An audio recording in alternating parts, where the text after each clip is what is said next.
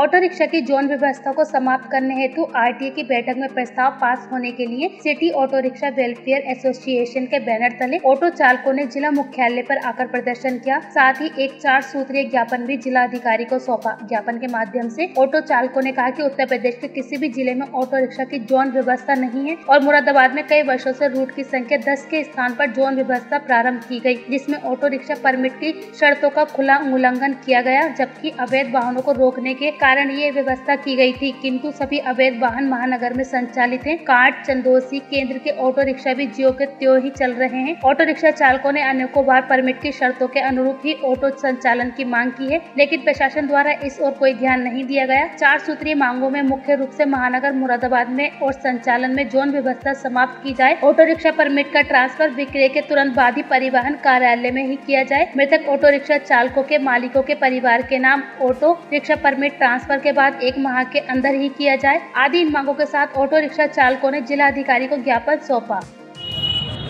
भाई साहब क्या नाम है आपका? मेरा नाम किशन लाल सिंह है। किस पद पर हैं आप? Auto city auto rickshaw welfare association का अध्यक्ष हूँ। आज क्या प्रोग्राम किया गया आज आपके द्वारा? आज जो मुरादाबाद महानगर में ऑटो रिक्शा व्यवस्था है उसमें चार जोन बना दिए गए थे। हमसे कहा गया था कि अवैध वाहन नहीं चलेंगे। के ऑटो रिक्शा नहीं चलेंगे चंदोसी के नहीं चलेंगे। लेकिन फिर भी चल रहे हैं। और जोन व्यवस्था में हमारे परमिट का खुला उल्लंघन है। ज़ीरो से 16 किलोमीटर की त्रिज्या में ऑटो रिक्शा को चलना चाहिए। लेकिन चार जोन बना करके दो दो किलोमीटर की दूरी आ रही है। तीन और चार जोन में केवल दो तीन किलोमीटर की दूरी है। हमने कहा है कि हमारे परमिट के अनुसार हमें चलने की व्यवस्था की जाए।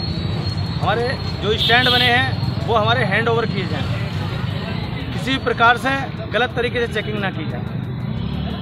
यह सरकार के और परमिट के नियम के विरुद्ध है और कुछ अधिकारी इसमें ये कार्य करने में लिप्त हैं। तो इसलिए हमने आज उसके विरोध में दो घंटे का 10 से 12 तक ऑटो रिक्शा संचालन रोककर और उनमें पूरा हस्ताक्षर अभियान चलाया है। लगभग एक हज़ार हस्ताक्षर आपके सामने हैं। एक हज़ार लोगों ने ये जौन व्यवस्था को समाप्त करने की हस्ताक्षर किए हैं और मांग की इस संबंध में किसको ज्ञापन देंगे आज? आज हम जिलाधिकारी महोदय को ज्ञापन देंगे कि वो आरटीए की चूँकि आरटीए की बैठक में ये प्रस्ताव पास हुआ था और आरटीए की बैठक जल्दी से जल्दी बुला करके इस प्रस्ताव को खारिज कराने का फैसला